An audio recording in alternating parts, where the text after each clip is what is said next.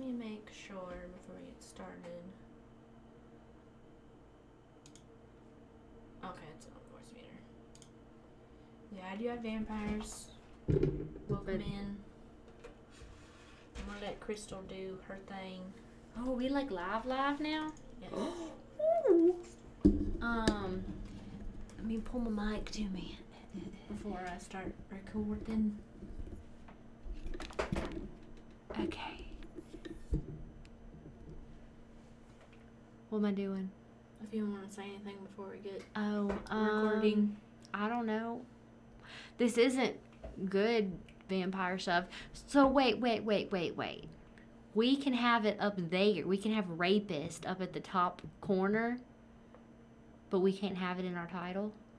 That's spelled right, right. Why does that look wrong to me? I don't know. This guy's weird. and I don't even know anything about him. Yeah, I went to make our title for this stream, and it said if I did it, we would be banned. so I prefer not to get banned.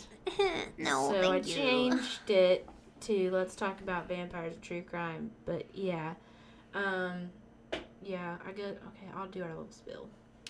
Um, so Oh, I can do the spiel. Is that what you wanted me to do? Yeah. Oh, and that okay. way we can. I can. Then we'll get to the re- Oh, sorry. recording. Spiel time. Okay, so I forgot that we were recording this that fast. Um, so this is a recorded episode for that we're going to actually publish and put out. So you're hearing it first if you're watching. Here on Um, Twitch, yeah. Yes, so if you, you ask any questions or say anything in the comments and we don't respond, that is why. I'll try to keep it updated throughout the chat too. Um, if anyone jumps in, says anything, that is why we are not communicating with you. But if you want to hang out afterwards or, you know, come back afterwards and hang out, we will be here for a little bit. Yeah, because I'm uh, questions. I'm I'm presenting this case. We just recorded uh, Crystal's case for this Sunday actually, and my this one that we're recording now is coming out the following Sunday. So I'll be presenting. So I promise I'm not ignoring you guys. Actually, this one is the Halloween episode. oh, that's right. That's right. We're ahead. That's right. Yeah, because We're we're, doing actually- Twitch stream next We're time. actually ahead, y'all. Oh my God, It doesn't happen very often. I know. It's But about we're time. trying. We're really trying to get ahead. That way, we can kind of like somewhat take a break for the holidays. Oh my god, I just realized. the next case I have to do is our Twitch stream on the 12th. That's how much time I have. Yeah. Oh Yeah, my we're we're actually like so getting our acts together, y'all. Like we're Oh, I feel so great about just because the holidays are coming up, and I told Crystal, do we want to like? I know it'll be hectic now because we've both been doing tons of research, but if we get ahead now, we can actually do fun stuff for the holidays. I already have a Mhm. ton of baking stuff planned. I told Crystal I'm cracking out my KitchenAid mixer literally after we finish this to make cookies for tomorrow, and I'm excited for that. I bought a crap ton of flour the other day because I want to make. Have you seen that recipe for the flour for the bread? And you like put the kitchen t- baker's twine around it, and it kind of makes it look like a pumpkin. yes, I want to make so. that Yes. because I think it's cute. But anyway, But yeah, so if me and Crystal are, you know, if I'm not answering you when I'm talking, that's because we're recording on our Audacity, which is what we use to record our podcast. But this was requested. We've done this a couple of times, but we're kind of just saying this for maybe somebody's coming in that's new, or I upload all these to YouTube. So if you're watching this on YouTube and you don't understand what's going on, we're actually recording for the podcast for our weekly episodes that go up every Sunday on Spotify and Apple Podcasts and Google Podcasts and like 5 million other platforms that we have. Um, but we're just doing it for y'all because some of y'all requested that y'all wanted to see us record. And Twitch is an awesome way to do that because we can, you know, talk to all of our people on Twitch and then it goes up on YouTube and all the people make fun of us on YouTube. So Yeah. yep, and it's so much fun. that's how it goes. But yeah, we're gonna get started. Um, I'll kind of give y'all a little breakdown before I start, and I can't answer any questions or anything till after. Um, first off, that's what we're talking about: the vampire rapist. Please don't ban us, Twitch. Just- Please. We're talking about actual events. I know you didn't want me to put it in the title. I don't. I'm a little confused on how I can say killer and all these other words, but You know, it doesn't matter. It happens. It's a thing that happens to people. But um, yeah, we're talking about John Brennan Crutchley. Um, so yeah, that is the title he was given. So yeah, we're gonna we're gonna get on into it, y'all. So yeah, hope y'all are having a good night. You're having a good week. It's almost the weekend. Give me a second. There's like five million things we have to pull up when we do this. oh, and a train. And a train. Hello, welcome to living. Literally, my house is like right next to the railroad track. I'm surprised it's not louder. At least we missed the taps being played. Yeah. Oh, it's at what time? Oh yeah, we might. It's at nine o'clock. Mm-hmm. Alrighty. Here we go, y'all. Can you see it? You want me to? I can see it. I can see everything. Oh wait, I meant to have this open too. Okay, I'm gonna start it.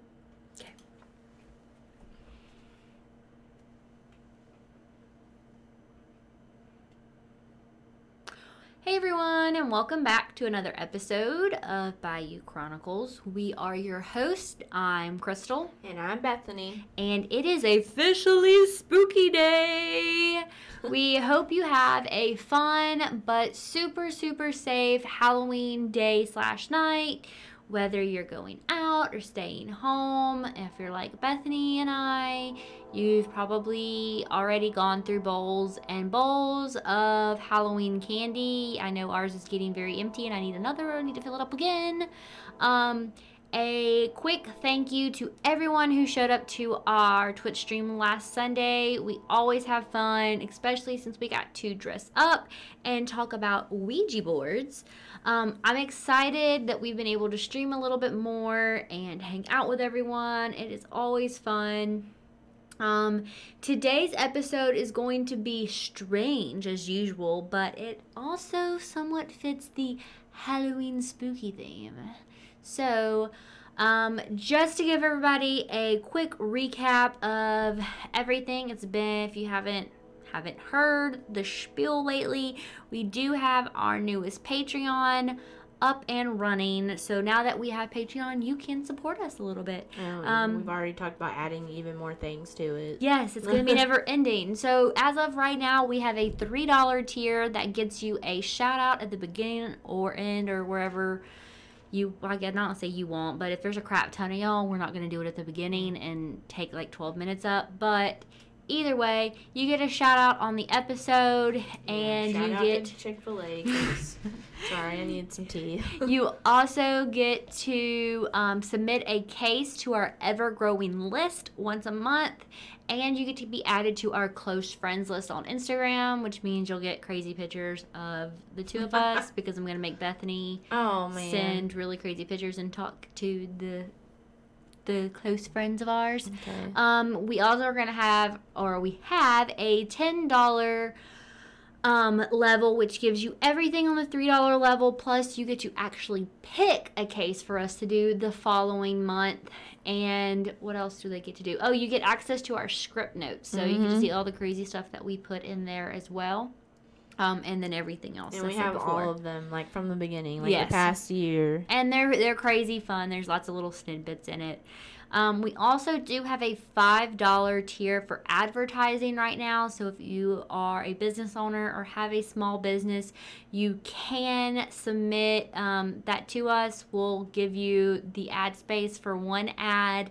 Um, a month. Obviously, you could pay for more if you wanted, but you do have that option, and that's a pretty good deal if you have a small business and just want some advertising. Yeah.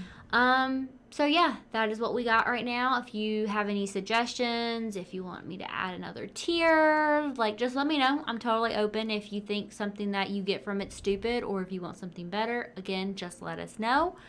But I think that is about it when it comes to the Patreon and the business as usual. Um, next week's episode should be should be an episode with Bethany and Zach. Should be Yes. fun. Yes. Um, we thought we had a topic. Men are very undecisive. I I don't know. Like he has this like idea where like it's his first time officially being because Tyler has made some guest appearances with Crystal, and they went amazing. Like literally, their what was the one? The Malaysian. The airline? Malaysia flight. That yeah. was our number one. It's still to this day the number one downloaded in the first twenty four hours. not episode. streams, downloads. Downloaded, So yeah. like people like really wanted to take this on the go with them. Like the first twenty four hours, I think it had forty two downloads. And I mean, we have some episodes that it takes like a week for it to get to 40 downloads. So in the first 24 hours, that's awesome.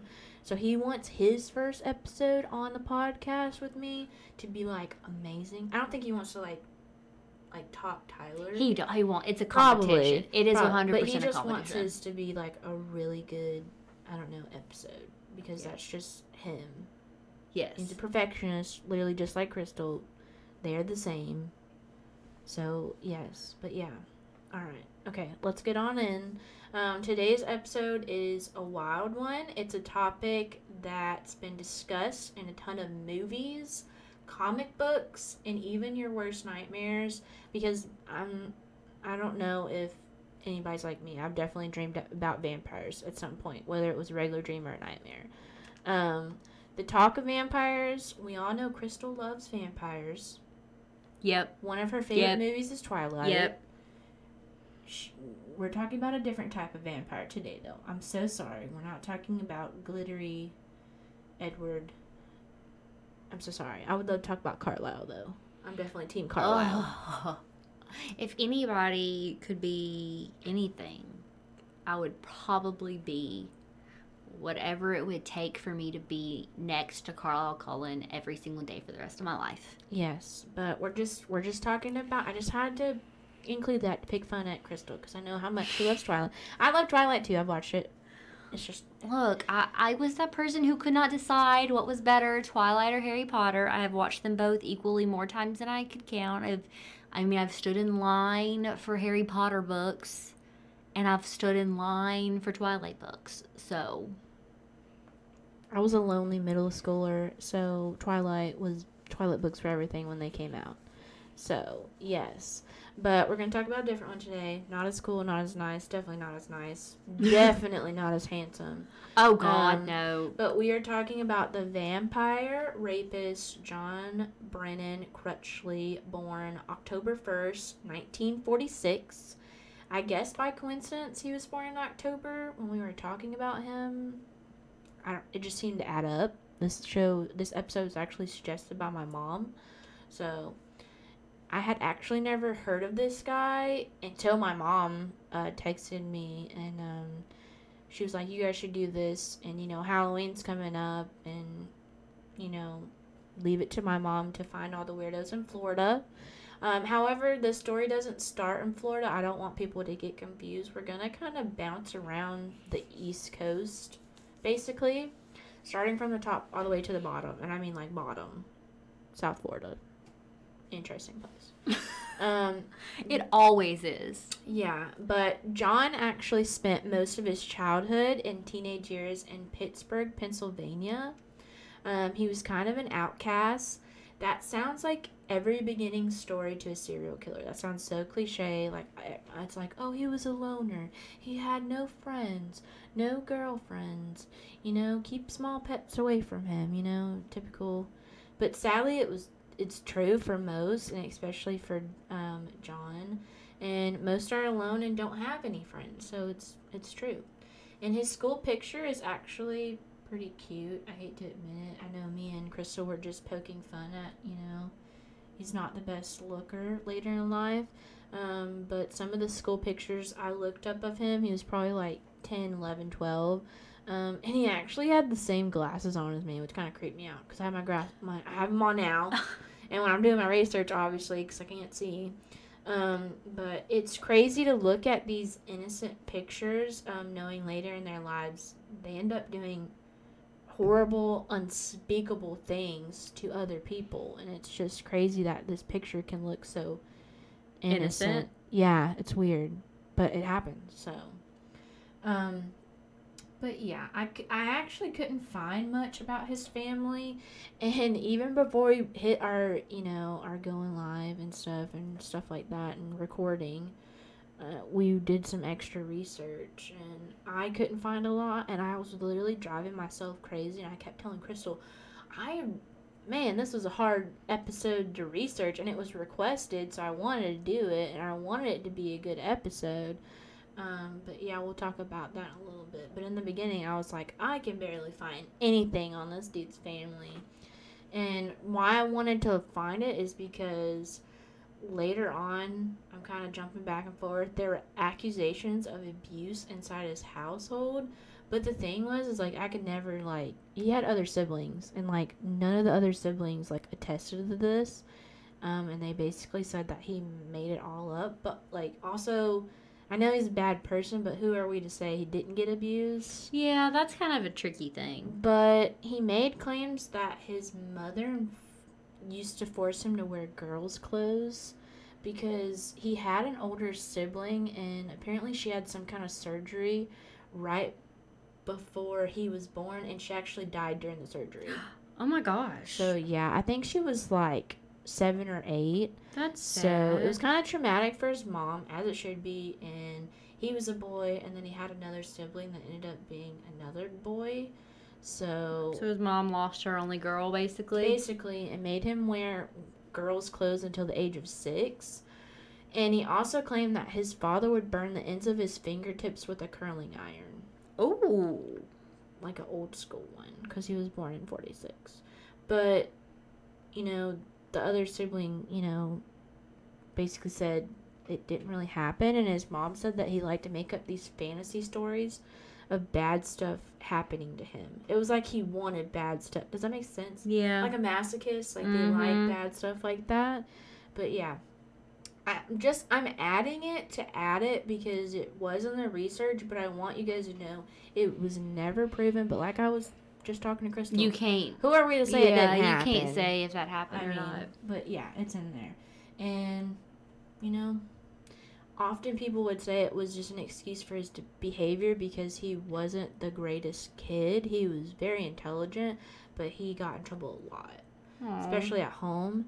And Why do I always feel bad for these people at the beginning? it's in the beginning, y'all. Like I don't mean. I guess it's the way I write. Like I don't know. You do. You pull on the heartstrings every time. I'm sorry, but I promise you, you're not gonna like this dude here soon. Like pretty pretty soon.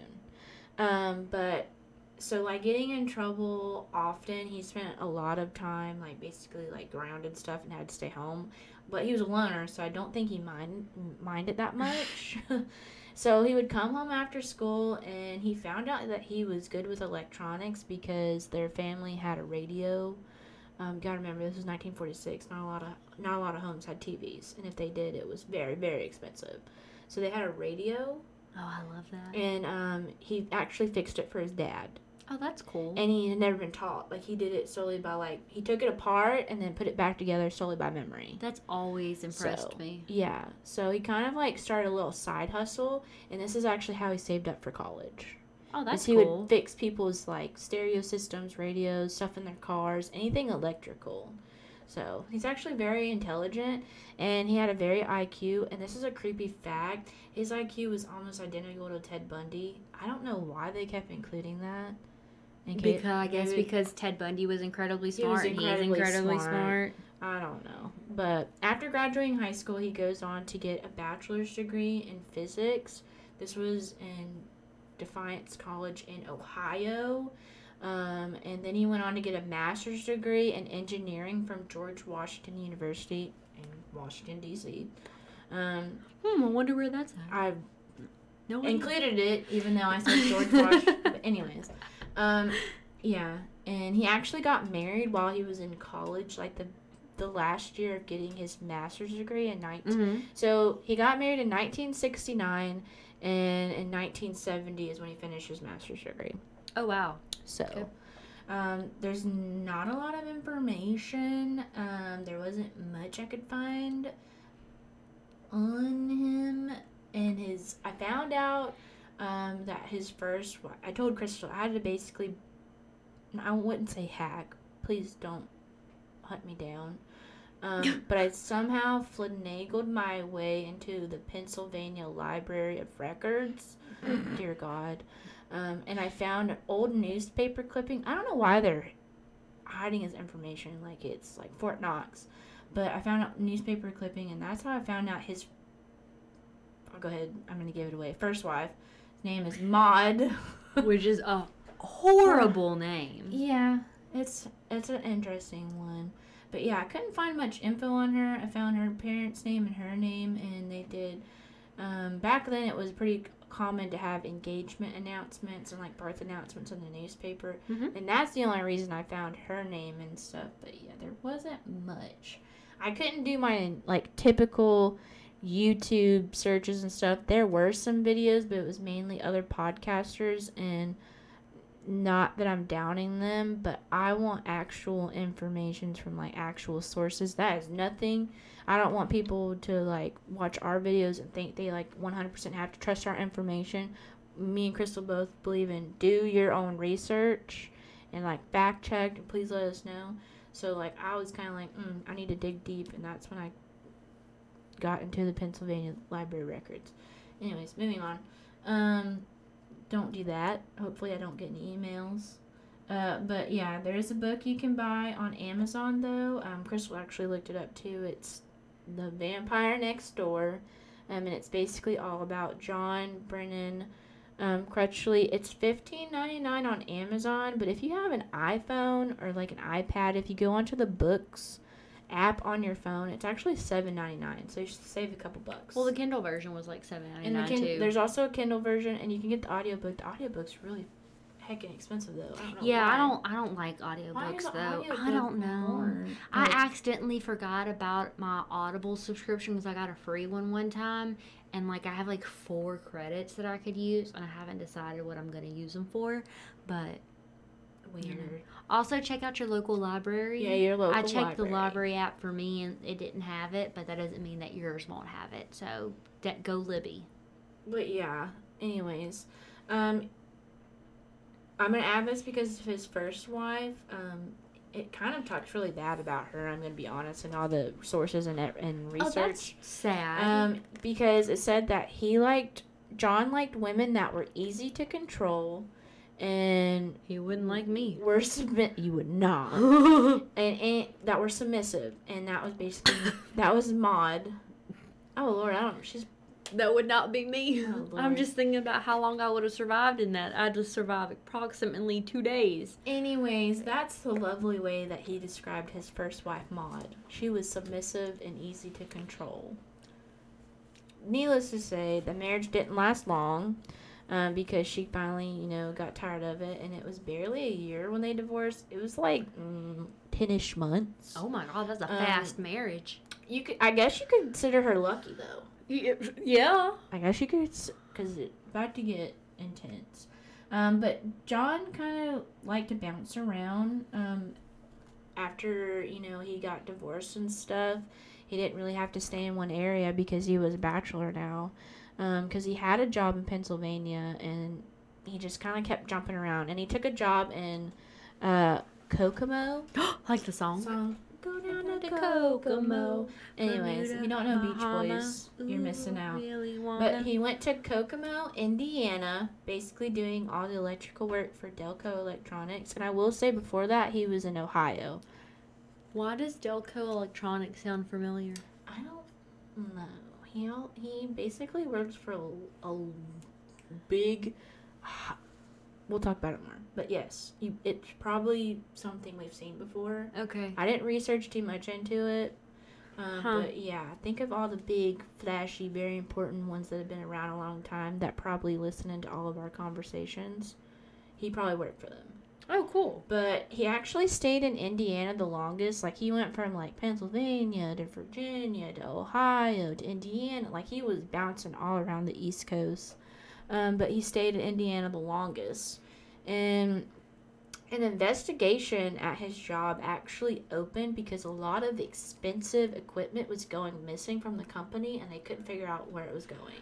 Hmm. I wonder who it was. Who's the main person that works on? I feel like this was a no brainer. Like, he was literally the head person over all the electronics. So, like, if stuff goes missing, wouldn't you go to the boss? But no, I would think you would. I digress. This is the 70s. Um, John was their main suspect, naturally. But he had already packed up. Like I said, this dude liked to. It was like you know when the slightest thing happened, he just packed up and So he just got the hell out of Dodge, yeah, basically. So before, basically, before they could investigate him, he packed up and moved to Fairfax County, Virginia. He I know where that is. all up and down.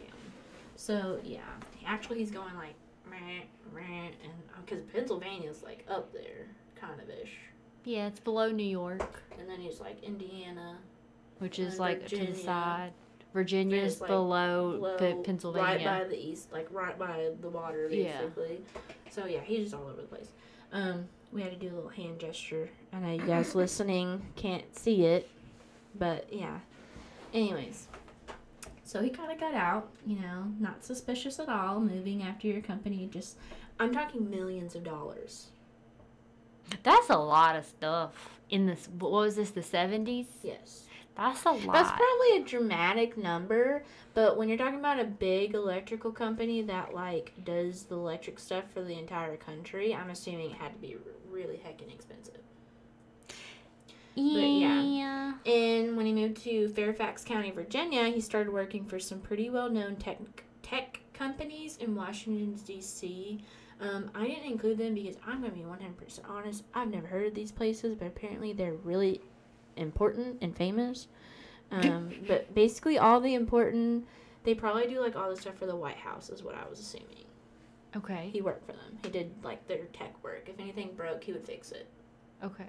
So I see that, and he had high clearance. So they never said that, but I just came to the assumption he probably did stuff.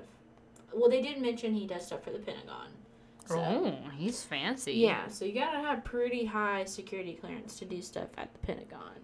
Um, I kind of felt like Crystal would like researching this ep- for this episode because there's a lot of books. There's several books out there, and y'all know she loves.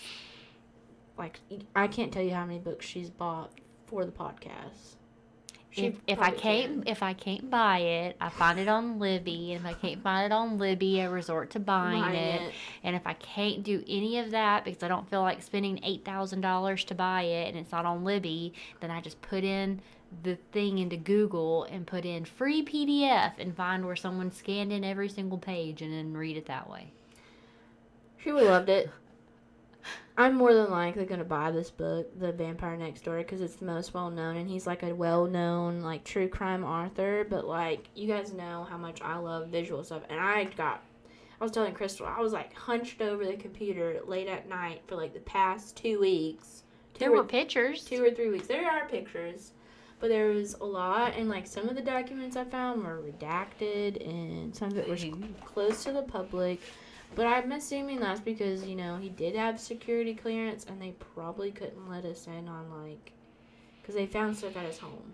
Like later on, we'll talk about it. But Well, know. maybe it'll be like our other case notes right here. It's just like like stuff that's just like not necessarily classified, Classified. but like need to know. Me- kind of yeah. Thing. it could be. Um, I actually found myself scrolling through Reddit. Oh, I look at feel you! like yeah, yeah. I didn't tell Crystal. I was waiting for the for us to record because y'all, Crystal is a Reddit junkie. Like, she's been on it forever. She's always sending me things, and I I I got on Reddit not too long ago, and I had actually seen where she commented on something. I was like, that's so Crystal. It was something about I don't even remember I now. don't know. I've been on Reddit since like Oh lord. 2000 something, early mid 2000s. it was i mean i got some information for this episode from reddit but it was mainly a bunch of people just making like theories on Yeah. stuff and like why the stuff was so secret and how you could barely find any information and some of the na- some of the people i guess didn't want to be they didn't want their information like any you know survivor they don't have to release their name to us like they want to live in privacy but yeah reddit is an interesting place but you know It's not for the faint of heart either. yeah, I did find, you know, like I said, the Pennsylvania Library online records and newspaper articles and clippings from the 60s and 70s. Um, it was actually when John moved to Virginia and began working in D.C. area that teenage girls started going missing. And I will say, take note, everywhere that he's lived, like we said, Indiana, Ohio, Washington, D.C., Virginia, Um, that's basically all the same area right there. That's all Yeah. very close together. Young teenage girls or like young, like early 20s, late 20s girls were going missing every place that he lived. That could be pure coincidence. But take note of that because we're going to talk about it more. Um, and he also remarried. So, you know, he divorced Maud in 1970. Maud. Yeah. Go Maud. Actually had a baby. He had a son. Not with Maud. No, the second wife, mystery woman. They had a son. Um, I'm I'm really gonna buy this book because like the more we record this and we talk about this, I just got I'm. It's probably gonna be downloaded on my phone tonight. so, um, like I said, I found the newspaper clipping, and that's when I you know kind of found out you know they were married in Pennsylvania. Her parents were actually I guess well known. Um, in Pennsylvania, I'm assuming she was Hmm. a rich girl. I don't Yeah, know. I was a rich girl. Um, but Nothing on the second wife, nothing on the son. So that's why I'm pretty sure they just want their names to be kept. out. Now, okay, so before we started this, I downloaded a sample of the book, and at the beginning, it did say that several people's name in the book we're cha- was yeah. was changed or hidden because they didn't want to be known. So I'm assuming that's why you could never find out the wife's Yeah. and son's name because like it's kind of like what we always say, like their kids don't Don't matter. want- They don't. We don't ever talk about it. Like we'll mention that they had children because it's and then we'll say their lives. names if like they're important to the story. Yeah. But like if it does not matter, why We we don't bring it mention up? it, And I feel yeah. like this is like an exact, not exaggeration, an example of this.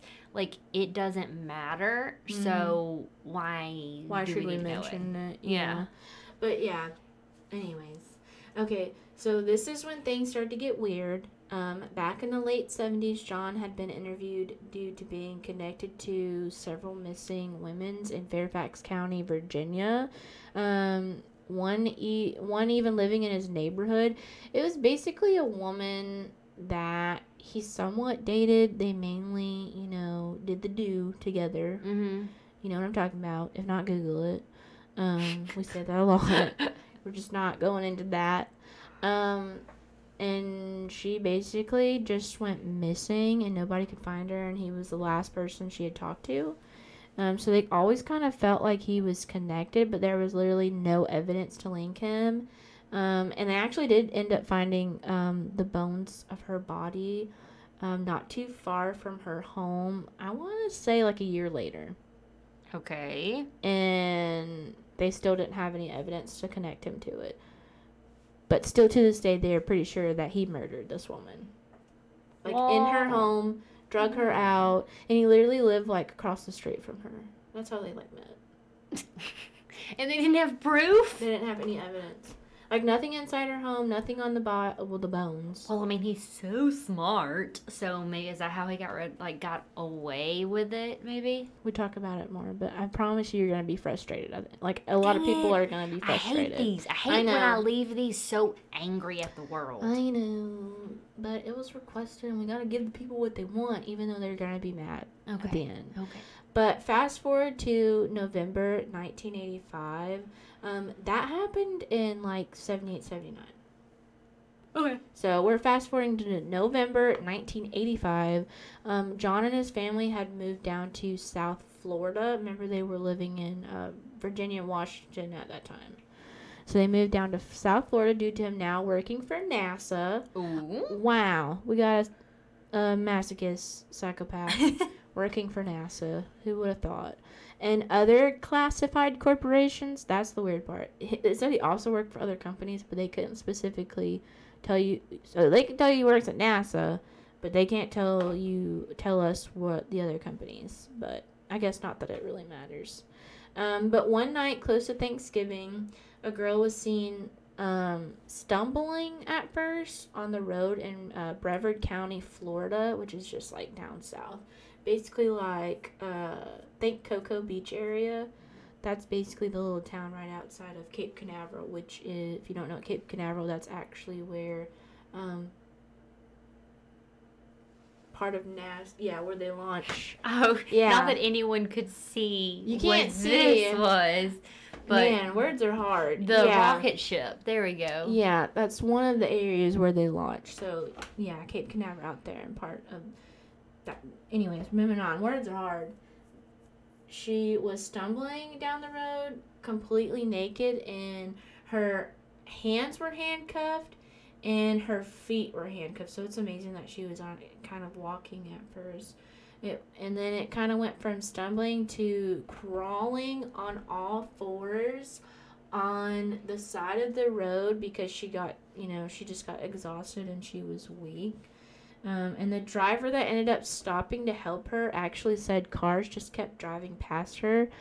How sad is that? You see this young girl handcuffed, bloody, dirty, naked, crawling on the side of the road, and you don't immediately stop. No, because it's probably their thought where it's like that's someone Some- else's problem, which is incredibly rude. rude, but anyways, um, I would immediately stop. I know Crystal would, but he ended up, you know, pulling off from the side of the road. So thank goodness for this man and calling an ambulance for her and gave the police a description of where she might have escaped from because she kind of before they took her away on the ambulance, she kind of like let him know like an area of where she had escaped from. Um, and I mean, this was just a normal Florida suburb, not like a super nice suburb. I don't mean that to sound rude. Um, but yeah, you get what I'm putting down. And here's this handcuffed, bleeding girl crawling down the side of the road.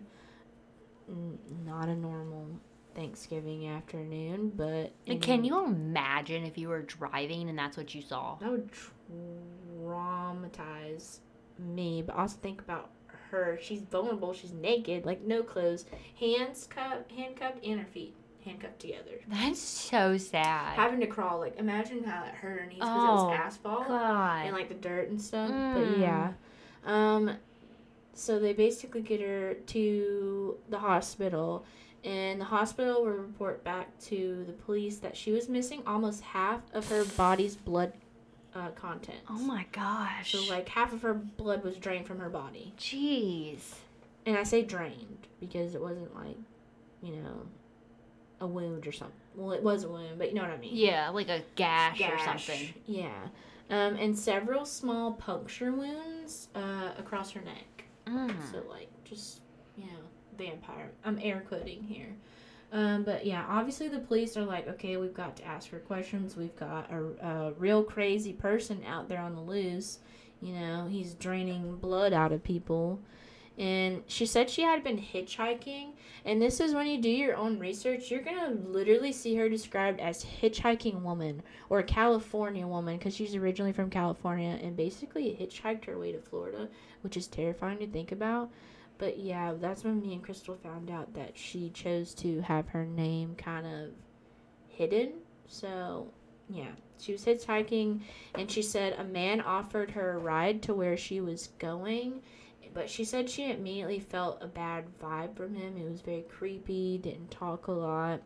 And when she was in the car, he didn't listen to her. Like, he she wanted to go a certain area and he just kind of like stopped talking to her and drove and ended up driving to his house and parked in his driveway and she kind of refused to get out so he climbed into the back seat and choked her until she passed out Oh my god. yeah this is why i mean a lot of people hitchhike back then but you really gotta be you really gotta be careful um so she's unconscious she wakes up naked in a kitchen like basically on the kitchen think of how do I describe it? The best way, like a big island, you know, like a big Yeah. kitchen island. She's laying on top of the kitchen island, strapped down to it, um, and she's surrounded by bright lights and a video camera. It was probably like those industrial lights that people use, like when they're doing construction, like remodel on their home. So she said there's just a bunch of bright lights around her and a video camera, probably you know the big old school video cameras because this was the 80s and he started this ritual. She constantly described it as a ritual. It was a really weird way to describe it but the ritual was he would come in you know he would sexually assault her which is very terrible and then he would take a needle and make two small holes on her neck and like drain like like vials and vials of blood and then put it like in this cup Okay, hold on, hold on, hold on, hold on, hold on, hold on, hold on. Okay, hold on. Oh, I'm about to like hurt myself because I I got I had to get in a new position. so like he, these needles, are they like? I don't know why I'm asking all these questions. Are they like like oh I'm getting a shot needles or are they like Like I'm getting a lumbar puncture needle or are they like a knitting needle? like hypodermic needles, like ones that if you're getting your blood drawn, um, I'm assuming he would. I'll talk about where I think he get, gets them from, but Okay. we'll get there. We'll talk So, okay, about it. so second part, follow up to the question. Um, how would he drain said blood? Like, is he like sucking on that spot and like doing it, or is he just like No, he's pressing on it and like he's getting the blood out of her. He's going in her. uh what do you- carotid Yeah, Zach would be mad at me for not knowing that. and like just like like you know how like when they like get Syringe- blood vials, like when you get drain your blood. yeah. Okay. Yeah, and he's Okay. basically filling this like bucket cup or whatever. It wasn't very specific. Who cares? This is very creepy, anyways. Don't tell me he drinks it. Uh, we'll get there. Um, that means and this hitchhiking woman, I hate describing her like that. Let's give her a name, Julie. Julie. We're respecting her wishes. She wanted her name out. But Julie, okay, this is, I feel weird, even weirder. But Julie, Julie said he did this ritual. That's even weirder saying several times. So like two times, and I'm talking a lot of blood each time. yeah. So did it first time, and then he would come back in, sexually assault her, and then drain her blood again. Anyways. okay, okay. I know this is 1985, but how the first thing I was like, you know, what was spreading around in the 80s. AIDS. Is that right? Yes, Oh. but like, ugh, I'm making terrible faces right now. That's nothing to people that have it, but the thought. I don't know. I don't want to get too much into it. I don't want to be rude and disrespectful, but like, I even today don't think about going around and drinking people's blood and you don't know what's in their blood and you don't know what they're doing. But anyways, after doing this ritual two times, like Julia said, he locked her in his bathroom, which is like you know you just drain this woman of almost all her blood. Let me just throw throw her in the bathtub. He throws her in the bathtub, handcuffed, and um, that's crazy. That this was like I don't think people realize this was his house. Like this is the house that he lived in with his family, like with his wife and son. And he's doing this to this woman, and, he- and then That's he- just like Jerry Brudos. it's just like Jerry Brudos. Yeah. Because they were this is because they were away visiting family for Thanksgiving. They went to her they went up north to her parents for Thanksgiving. Which is weird. Why didn't he go? Maybe he had to work. I don't know. I'm reading too much into this. But yeah. The hospital said um oh cuz I'm I'm skipping ahead. So he leaves for some reason. They don't say why and he never like tells why and she escapes out the bathroom window. Imagine how she's got her hands handcuffed, feet handcuffed. You think you could do that? Absolutely not. I don't think I could. So Well, I mean, you- when you have the I mean, yeah, when you have a will and there's a way, she and- has half of her blood drained out of her body. Imagine how weak she is. That's just amazing. I don't know. Julia did the dang thing. But yeah, the hospital said John could have easily drained all the blood out of her if, like, he had done it a third time. If she hadn't escaped. Like, that third time would have killed her. That would have been too much uh, blood out of the body.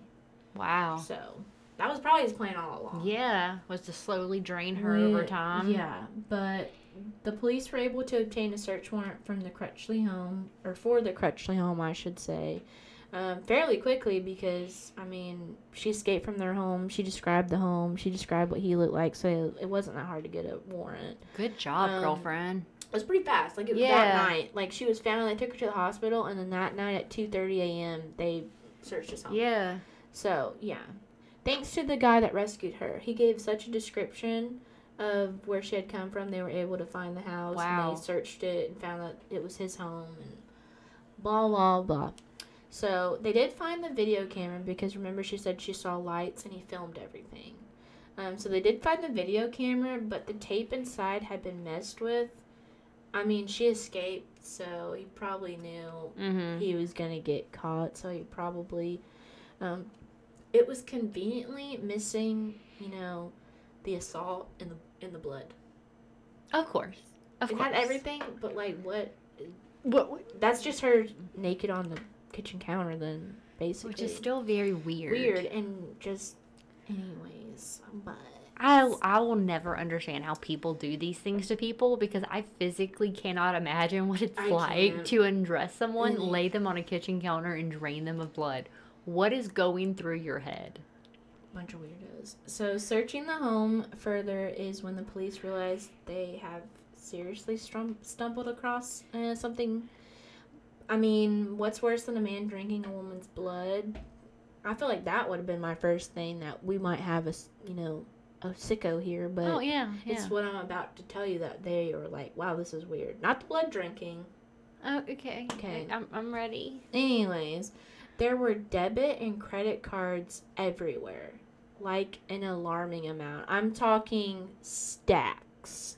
And if there's a stack, and that's stacks, plural, like several stacks of debit and credit cards, um, because credit cards are relatively Yeah. thin. So if there's like a big stack, Stack of them, like that's a lot of people, cards. A lot of cards. Notice how I said people and not John's credit cards? Oh. They don't really go into much detail, but I think that's because they were trying to protect the identity of these people. Um, but yeah. They found also a collection of women's jewelry, like a bunch of different styles and stuff, in his closet.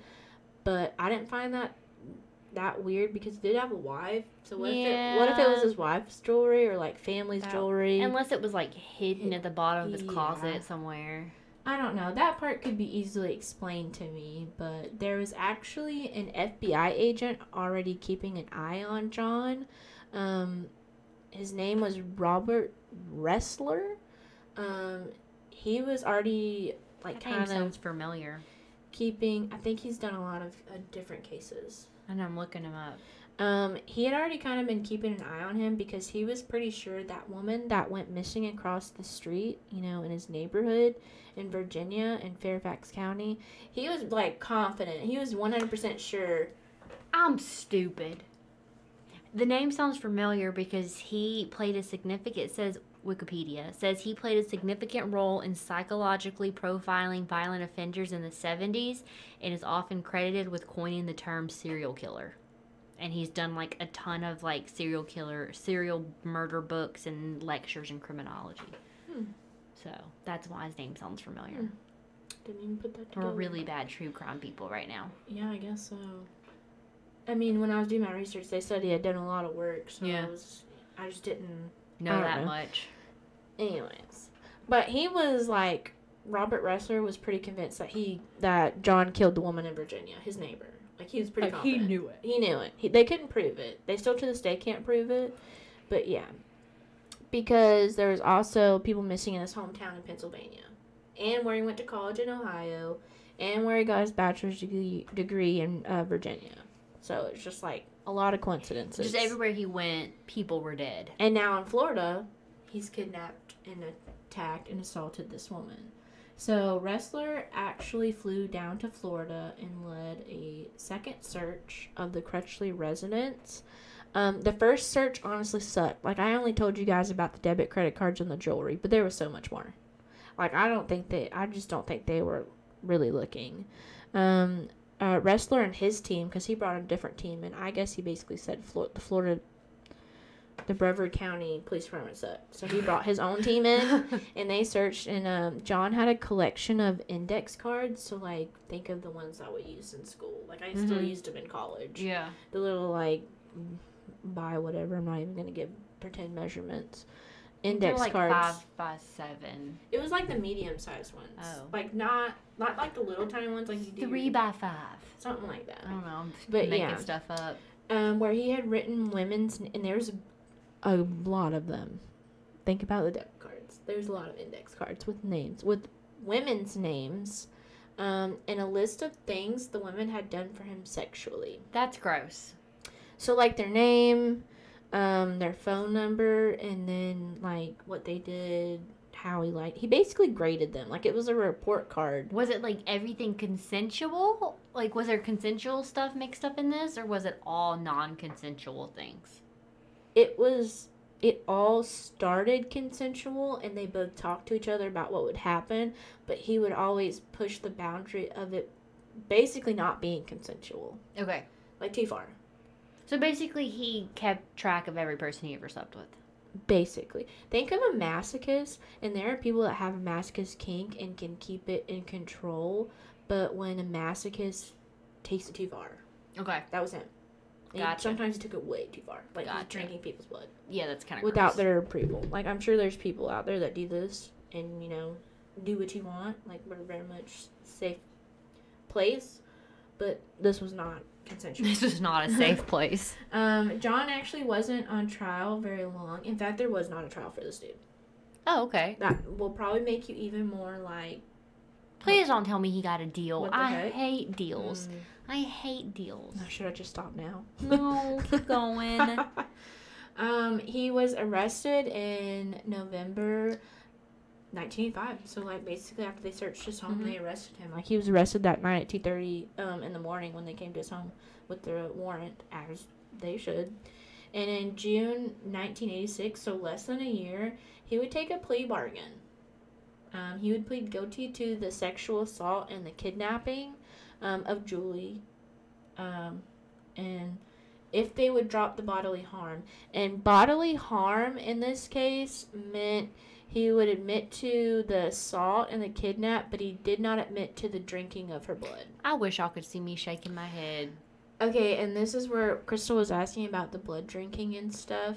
He said they shouldn't arrest him for that because he never got to drink her blood because it coagulated before he got the chance.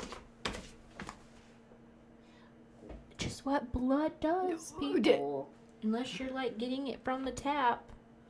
That sounded very mean to say about a human being. So he wanted to drink warm, Warm- liquidy blood, warm, not cold, chunky blood. chunky. Ugh. That's just gross. So- All around. These people yeah. are nasty. This So- man is going up there with the butthole eating guy. Oh my. g- They they should be best friends. Anyways, um, yeah. So he never actually drank all that. So he basically took half her blood for nothing, because he said he didn't get to drink it because it was too coagulated, and he ended up dumping it out. Where did he dump it? In the backyard? Like I don't. I don't know. Um, honestly, I'm glad I didn't find much on his wife, and I told Crystal to get ready for this part too. I said you're gonna love his second wife. Um, I'm honestly glad I didn't find much on her because she was a real catch, and I'm pretty sure she knew what he was doing. Like I'm fully convinced she knew how he felt and what he was doing to women. There's no way. Um, it. uh, she told reporters like after the sentencing, like he didn't have a trial. If you don't have a trial, you basically go to the court and, and in front they of just sentence you. yeah, in front of everybody, they just, or sometimes you don't even have to go to the courthouse. But he did. He went to the courthouse and they basically told him what he was getting, you know. And after his wife, I guess, went outside, because you know there's always vultures outside Mhm. waiting to get. Let's hear from, you know, Mrs. Crutchley. What do you have to say? Yeah. Um, and she told reporters after the sentencing that the attack on Julie was a gentle rape. I wish y'all could see my face. Like, oh, a, a gentle rape. was it A he was- gentle yeah. rape. It was a gentle rape, and he's a kinky sort of guy. That is her in quote. Uh, Ma'am, there's a reporters. difference between being into like what is it, consent, non-consent, Mm-hmm. and having like a rape kink, I guess, Because there are people that like that, and that's And- between you and Jesus. and whoever you're You're doing, it, with. Yeah. But sir, there's no such thing as a or Gen- ma'am, there's no such thing as a gentle rape. But yeah, who says that? Apparently she does. Mystery woman. Who cares? We don't care about her. Um, but during the sentencing, he explained a little. Like this is like the only like he never really sat down with anybody and did it. Well, probably the person that did the book, and that's why I really want to read it because I'm wondering if he sat down with him. But there was nothing else on record of him like talking with people.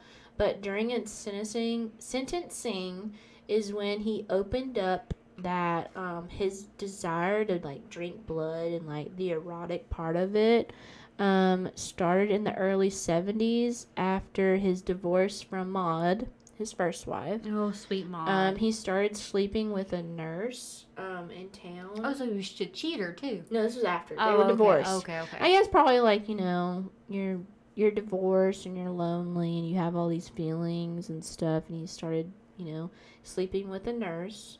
Um, and during sex, she would have John drink blood. no. Like she brought it up. She was like, "I No. have, I have this ritual." I think that's why he, when I was saying we'll talk about it, I think that's why he describes it as a ritual because she started him on it and she described it to him as well, a ritual. who is this lady who's getting blood and drinking it? Not much info on her.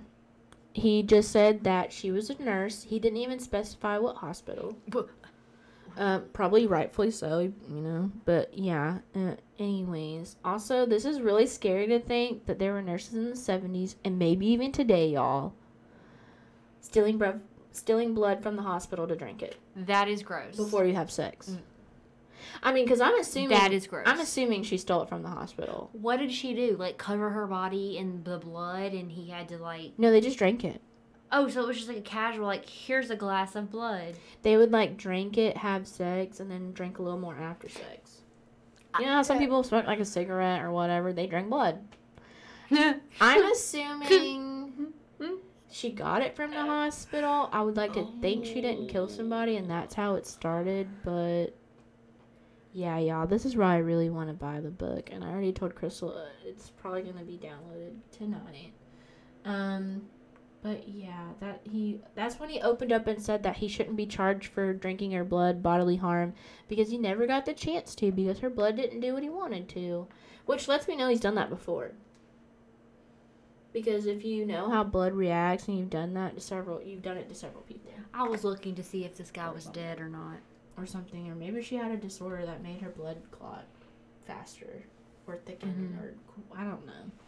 Anyways, um, John Brennan Crutchley was sentenced to 25 years to life in prison with 50 years of parole, which is like That's a long time. that's a long time. But at that point, he was in his like late 40s. He was born in 1946. This was, I'm so he was 40.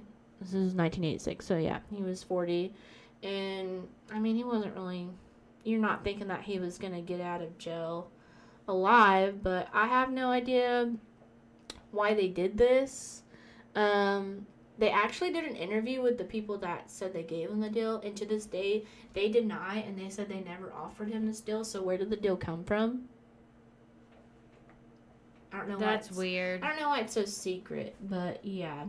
Um, and this is really what I want to know and why they did this. But in 1996, so after serving 11 years, it actually wasn't 11 years exactly. It was like 10 years and mm, 10 months. Um, John was released for good behavior.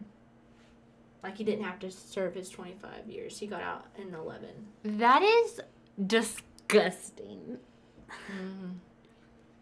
I want to assume because they never technically got him for murder. It was Mm-hmm. just kidnapping and stuff, so it's like a lesser charge. But he was basically pinpointed for over 30 murders Jesus. in total.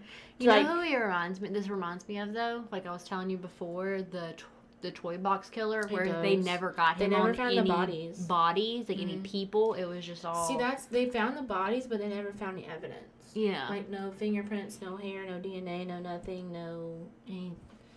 I feel like the credit cards and debit cards and the jewelry and all that stuff and the drinking of the blood and kidnapping Julie would be enough.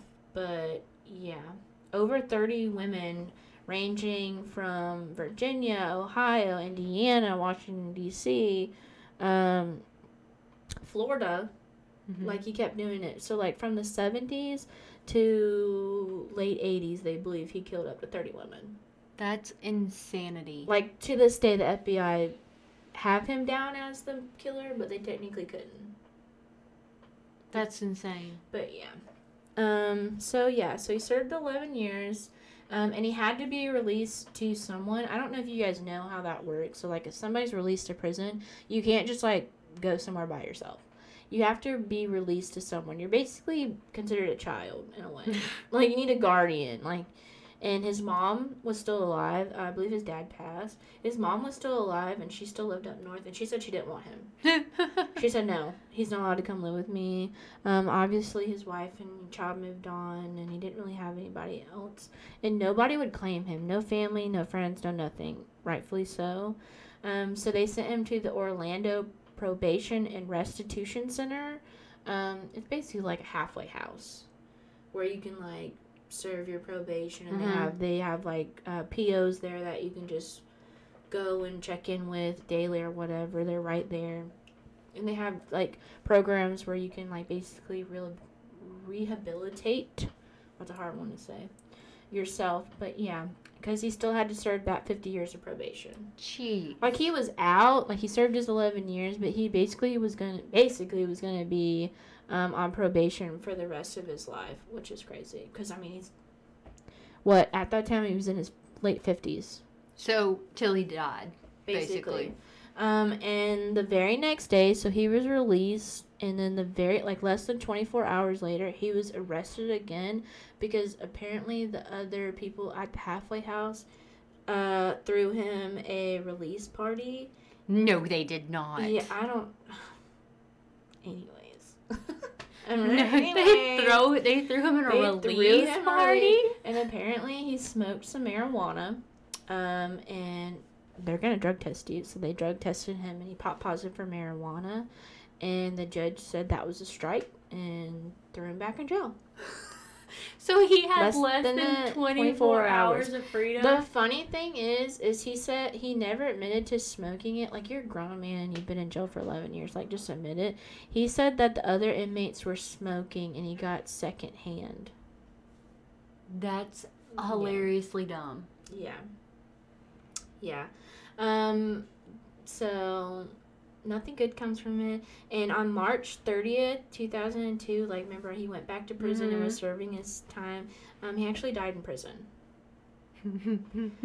They originally, I had I don't know why I'm laughing. I had that. to open my phone because I had a, a thing pulled up because I want to make sure I say it right. He, at first, was declared uh, dead by asphyxiation because I feel like they didn't want to, like, admit to inmates getting certain stuff in their cells. Mm-hmm. Um, but he actually died from erotic asphyxiation.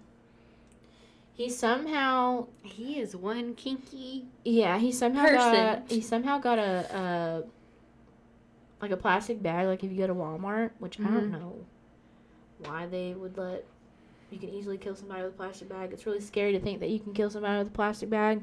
Um, but yeah, he put a plastic bag over his did the do, and I guess did the do too long, and died This case has made me laugh in, way two, more in than it should. 2002. So he's been dead a good while. Oh, But yeah. Lord. So he was in prison like what, almost ten more years? Because he got out in 1996, died 2002. So yeah, Yeah. yeah. He was in there another 10 years. So yeah, that is what we have for today's episode. It was a wild ride. I told you you guys were not gonna like the ending. I don't mean to laugh. I know me and Crystal. Were I'm laughing. dying. I, I may be just the horrible person because I'm not laughing at these poor women who No. and all these poor people who are dead because of him. I'm laughing. He just was me- Because he was just a messed up dude. He is weird. He's messed up. He had way too many kinks, and the kinks just wouldn't let him live life. Literally. Like, Dude made some really crappy choices. It wasn't the kinks controlling him. It's just this man. Yeah, just bad person in general. But yeah, that's what. Yeah, that was a suggested episode. We powered through Thank it. you, Danielle. It was interesting to research. Um, not how everybody wants it to end, but that's how it's gonna end, y'all. I'm sorry. Maybe later. Um, we were talking before. Um, we came up to the studio because a lot of other cases we've done later, they've actually like tested DNA, and some of the people, you know, were said to be the killer. So maybe later down the road, when they find more bodies, or maybe can test something, he can be. I mean, he's already passed away, but maybe some of the families can get some closures. if some of them are still alive because this was like early 60s 70s and Yeah. 80s so i don't know that's that's what i have for y'all today um, i don't know you want to add anything else before we Um. we don't make this too long for y'all I don't i was thinking this was going to be a shorter episode I i was wrong don't think I have anything else other than to tell people you might want to go watch like a cute episode of a cartoon after Mhm. this. Like, go do yourself a favor and turn on Jimmy Neutron. I don't know why. That's like my go to show when I need to like a pick me up. my go-to is bob's burgers Ah, see, I go to kids. I go to kids stuff because it's bob's bob's burgers is the best animated show and i'll fight anybody on that Oh yeah, we uh are still in the process of trying to convince Bethany. I don't think we need to convince her, but she needs to get a full Bob's Burgers sleeve of tattoos. That'd be the funniest I- thing ever. Yeah, I've been want. Yeah, we're Um, more tattoos are in the future. Yeah. Well, we're gonna let Taps play you out Yeah. so you can hear it. That's our good night sign. It's it's nine o'clock our time recording this episode. You guys are listening to this on a Sunday on Halloween. Probably, if you don't even listen to it that first day, it might be in November when you listen to this. Who knows? Um, but yeah, thank you guys so much for listening. Uh, we really appreciate each and every download and listen and suggested episode, just like this one, even though sometimes it's a little weird. But yeah, thank you guys so much for listening. Have a good night. Bye. Oh my god, we ended right when Taps did. That was uncanny. Oh, that was fun. Okay, export. No, I figured we could. Oh yeah, yeah. I forgot about Twitch She's for a hot head out second. on y'all. I forgot that Twitch was here. Sorry. We get too much into recording the episode. We're still getting used to doing it on Twitch at the same time. I think this is what our second time doing this. Yeah. Second time. Alrighty, we don't want to make this too much longer.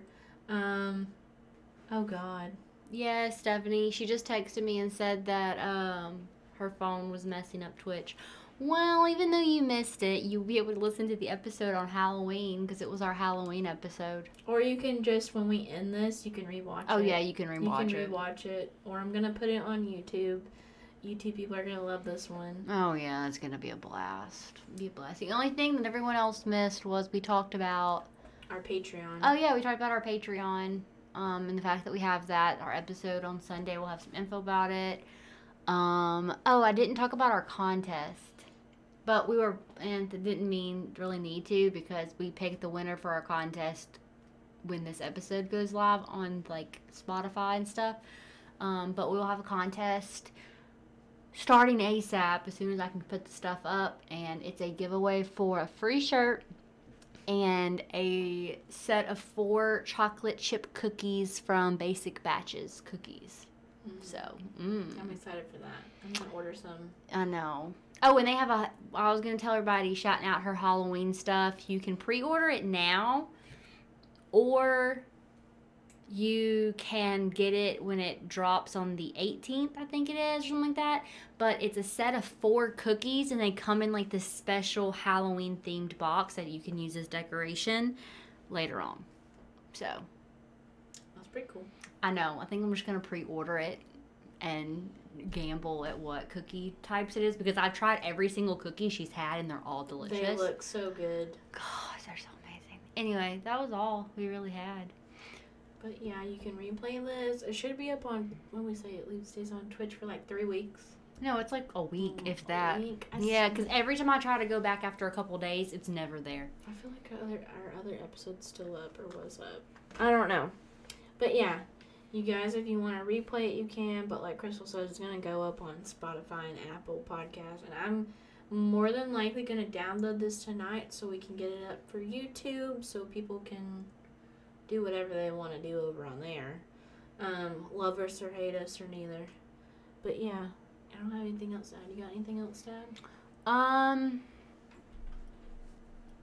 No. I don't want to make this too much later because this lady uh, works early in the morning.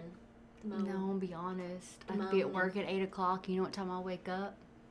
Seven fifty. Exactly right. exactly right. I wake up, I change clothes, I use the bathroom, I brush my teeth, I get a protein shake, and then I go sit down at my desk. it's so lazy. It's so lazy. Oh.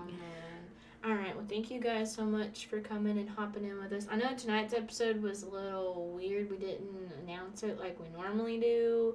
Um, just been a busy week, and just getting. and we didn't know what time we were gonna Yeah, start. we didn't know, and just life, Life, yeah. life. But we'll, But we're ahead, and we're now ahead. the fact that we recorded this means that we're ahead. We're ahead, and we'll do better. And the next time, next week, I'm more than sure we're recording. We will let you guys know if we stream on here, so we can maybe have a time for y'all. no, the next the next stream we do is Sunday after next when Yes. we do our actual Twitch That's stream. Right, we're doing Ouija boards on the 24th, 8 p.m. Central. That time we do know. Yeah. It's a Sunday. So, So, we do know yeah. that one.